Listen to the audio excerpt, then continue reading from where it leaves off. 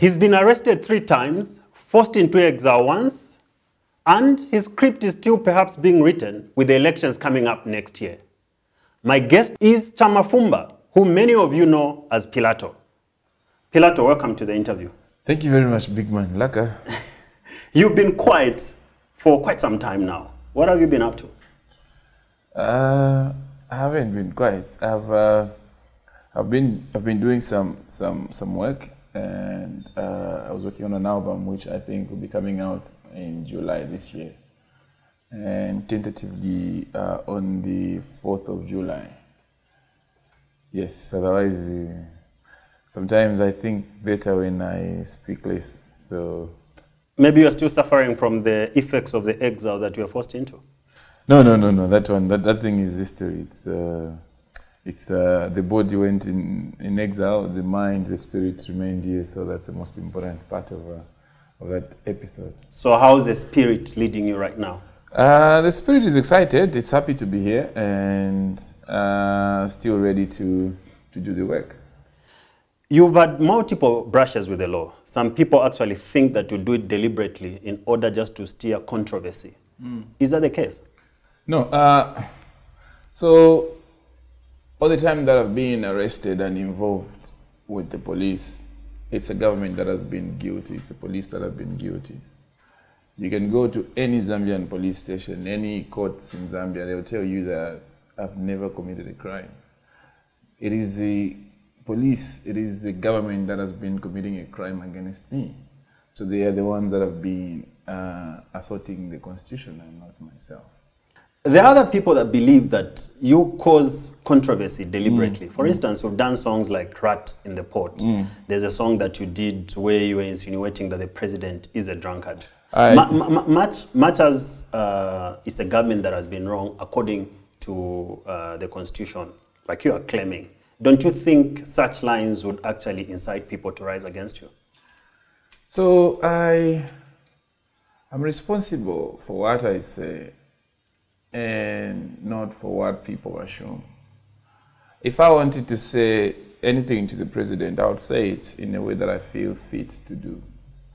Anybody that assumes that I said something, that's not my business.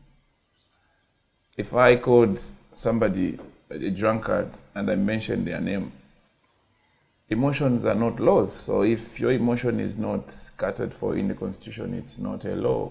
Uh, I don't know what you're gonna do with that. But And the gonna- person that you sing about is the president of this country, like the last few songs that you've done, and he's got supporters. I didn't say that. Clearly, there's a connection between what would be happening at a particular time and Yeah. what you'd be singing about. And the insinuation, the innuendo, is Yeah. that you talk about the president. That is not my in my space to explain or justify. The the best I can do is make make a make a song. I can make a song. The song that plays in your mind is your creativity, is your work of art. I do the song that I record in the studio. The song that you respond to in your mind is your work. I cannot be held accountable for the things that you create in your own mind. Those people that feel in any way that I talk about the president, I disrespect the president, they are artists, they are creatives, and that's their work. I respect that. I refuse to get in a position where I have to explain my work, where I have to justify my work. That's not my space. The But on best I can- occasion that you've been arrested, one of the first few cries has been that there's no freedom of expression in Zambia. But you've not stopped releasing the songs. Yeah, uh, I keep saying that I'm constantly in prison, and for me, attempting to escape the prison is me trying to do what I'm told that I shouldn't do. So if I do not sing or talk about certain topics because some people will be offended, that's you are putting me in prison. I don't want to be imprisoned. I'm a full human being. Why do you want to tell me what to sing about? Why do you want to tell me what to think about? So why then cry about the lack of freedom of expression and yet you still release those songs? Because I want to escape the prison. I don't want to be kept like this. I want to say anything I feel. I Which you do anyway. Yeah, and then they get they get me arrested. They they arrest me. So they should stop arresting me. They should allow me the space to say what I think. Where do you think freedom of expression starts and ends with you artists in Zambia? Uh, so first of all, it has to start for me to know where it starts. Where does it start? It doesn't start anywhere. Where does it end? It can't end if it doesn't uh, doesn't start yet. But when, We just had a, a, a situation where individuals were given an ultimatum that they should apologize for demanding for accountability from their elected leaders. That shouldn't have been a case if freedom of expression existed even by an inch. That can only happen in a society where freedom of expression is a crime. It's, it, it hasn't started. one of those individuals ended up apologizing within a few hours of him being given the ultimatum. What did you make of that, especially that he's a fellow musician? Uh, so you know, we look at these things from a very from very different perspectives. I I I would be in a position to explain my decision adequately. It is very difficult for me to conclude or form an opinion of why somebody apologized and whatever whatever inspired without me listening to their story the best I can do is mind my own business at this point until I get to hear what constituted that his environment in that space. We don't know what, what phone calls he received. We don't know what happened that pushed him in a position where he had to apologize. Uh, it's difficult for me to form an opinion over a 30 seconds video clip.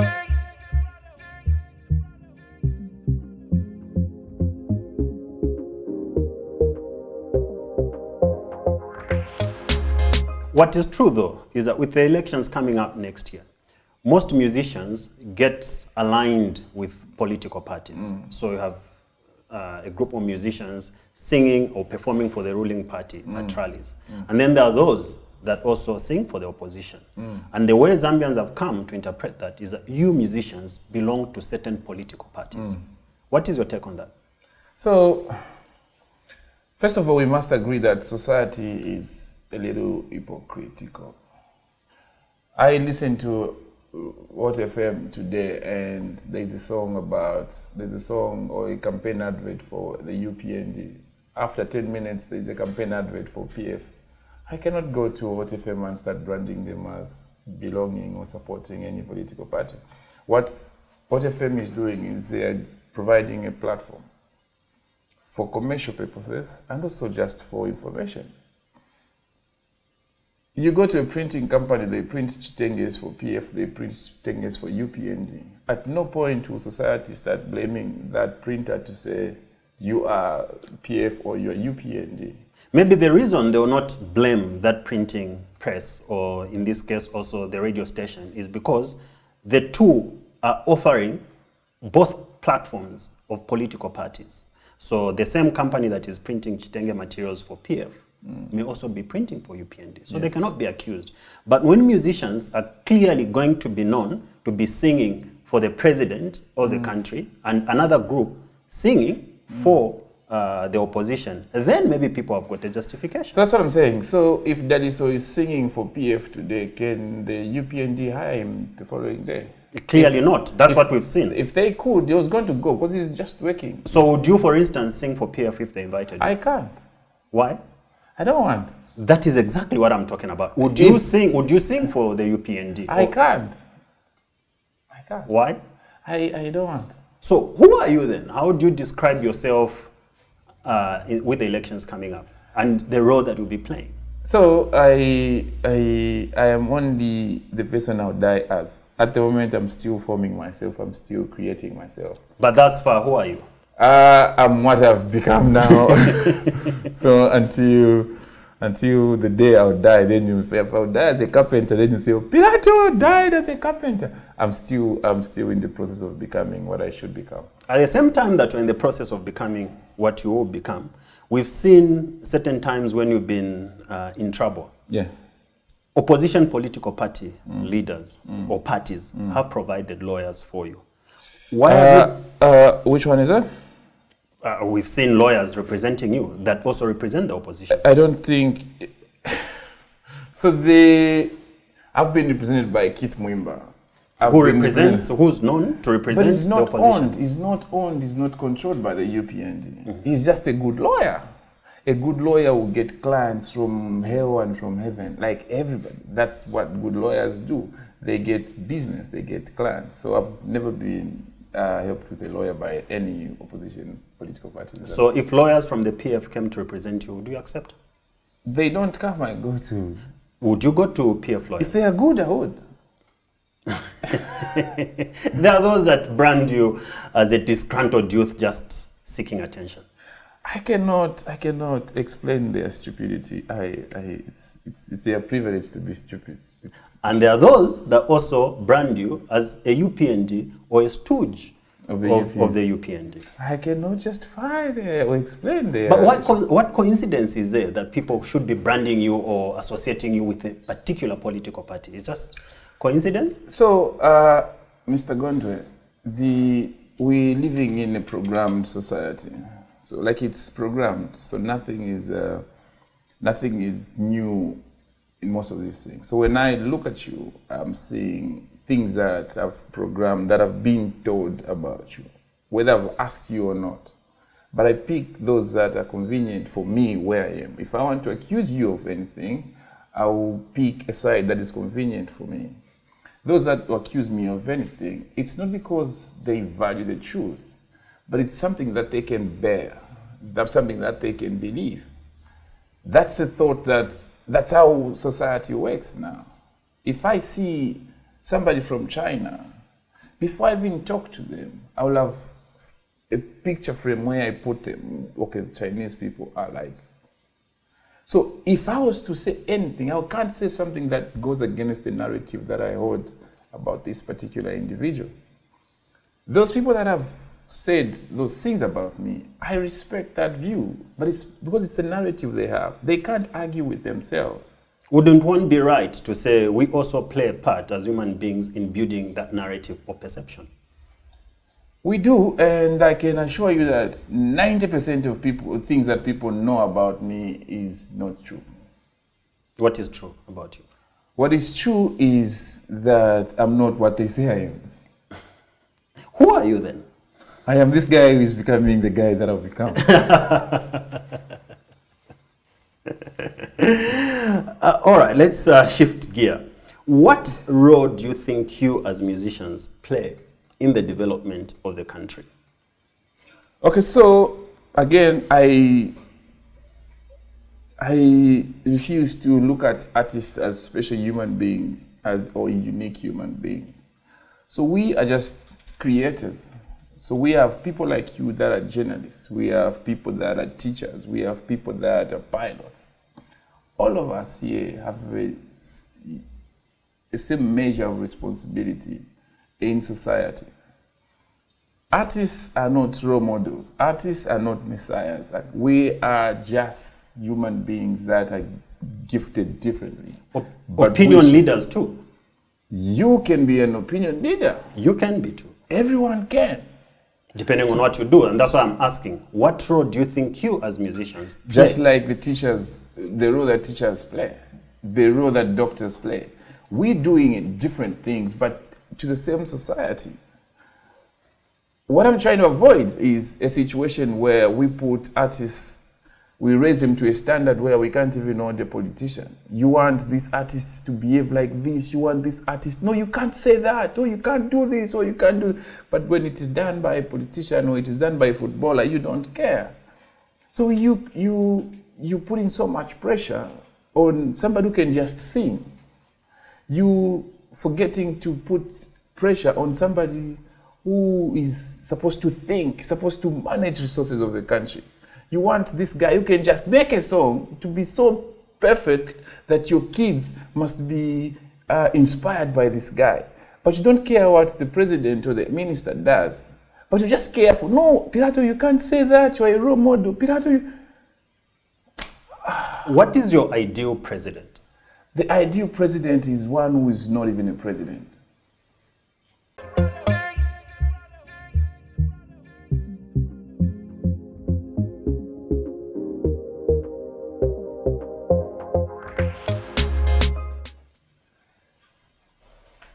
What that means is if somebody is a president, they shouldn't remind us that they are presidents. They shouldn't impose that on us. We shouldn't forget that they are president. If your ideal president is one that is not, why then do you sing about people that are presidents? They are terrible presidents. That's why I ask, what is your Because president? they keep reminding us that they are presidents. They keep because they know that they are so bad at being presidents that they have to remind us that they are presidents. Mr. Gondwe, you are a black man like I am.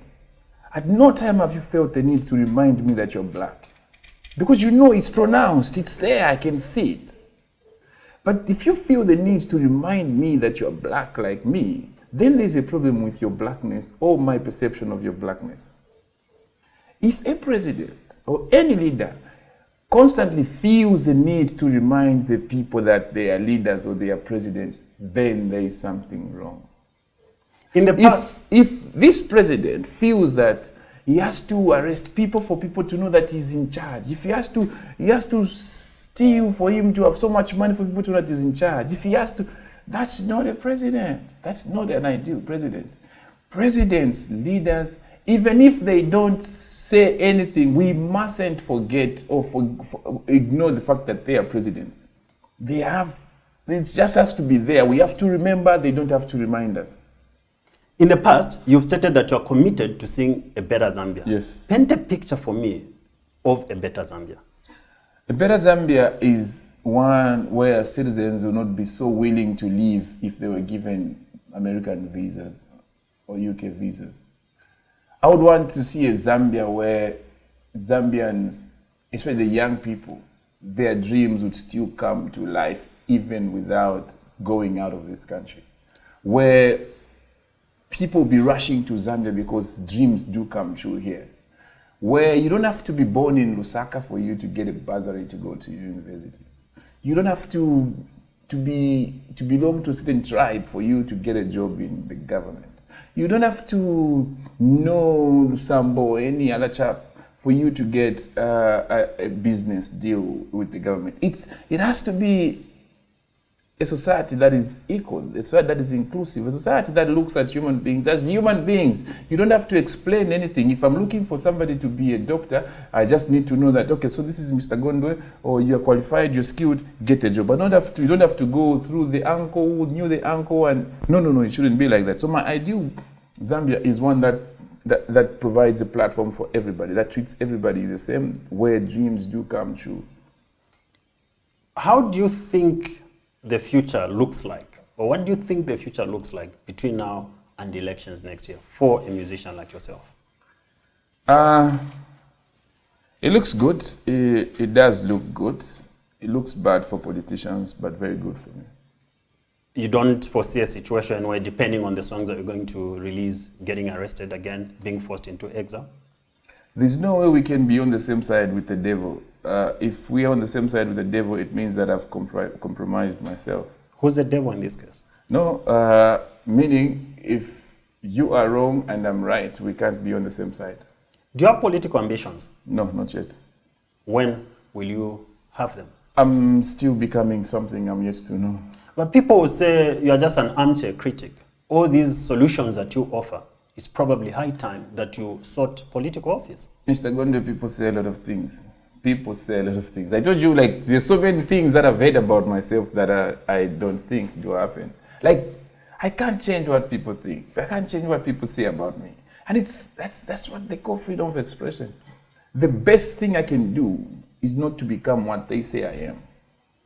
When they say I'm this, I'm that, I'm that, I'm that, I'm that, I ask myself, am I that? If I am that, I ask myself, is this good for me? If I'm not, if it's not good for me and I am exactly what they are saying, I have the responsibility to improve myself. But in your lifetime, do you at all foresee yourself being a politician? That's what I'm saying. So, at the moment, I don't have that plan. Should I think it will be necessary for me to get into political space for a specific reason or whatever reason, I'm going to say it. For now, me being an artist, I have the power to achieve what I would like to achieve at this point. I can say a word and 10, 20 people will hear it. I can say it, I can put it in a song, people will hear it. That's what, that's, that's, that's a lot of power for me. No one voted for me to be an artist. No one voted for me to be an activist. Nobody's going to vote me out. Political power is borrowed power. And as we're going towards elections next year, what do you think the role of musicians is in highlighting some of the things that you talk about? So musicians should just go about their business, make the music, make the money, just like teachers are doing, just like footballers are doing. Everyone, I keep saying this, Mr. Gondwe, artists are not unique, special people. We are just gifted, gifted differently. If musicians are going to educate people about social issues, footballers should do the same. Teachers should do the same. Journalists should do the same. The responsibility to build a better society is not on the shoulders of musicians alone. No. It's on every living citizen of this country. Artists will play their role. Journalists should play their role. Teachers, doctors, minibus conduct, everyone should play their role. It shouldn't be a special responsibility reserved just for artists. No. All of us must play a role. Ubunganga Nabudola, we go buy from the same shop, same price. If we leave this responsibility for artists alone, we will get bribed. I forget I start apologizing and you people that's what, what's going to happen. But if everybody else has got this responsibility and doing what they're supposed to be doing, we influence change that benefits everybody. If you leave this for artists, artists will be sorted out and everybody else remains in the court. Thank you. Thank you. Was that hard talk? I don't know.